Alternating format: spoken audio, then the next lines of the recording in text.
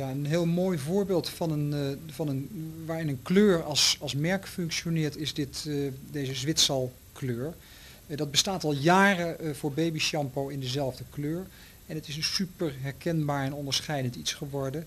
Um, dat geldt zelfs ook een beetje voor de vorm van het flesje overigens. En Zwitsal heeft ook al in verschillende procedures laten zien dat ze deze, dit kleurmerk hard kunnen maken. Dus anderen die ook vergelijkbare producten in dezelfde kleur geel op de markt brengen, die moeten echt oppassen. Want Zwitsal neemt ze te pakken met zijn, uh, met zijn kleurmerk geel.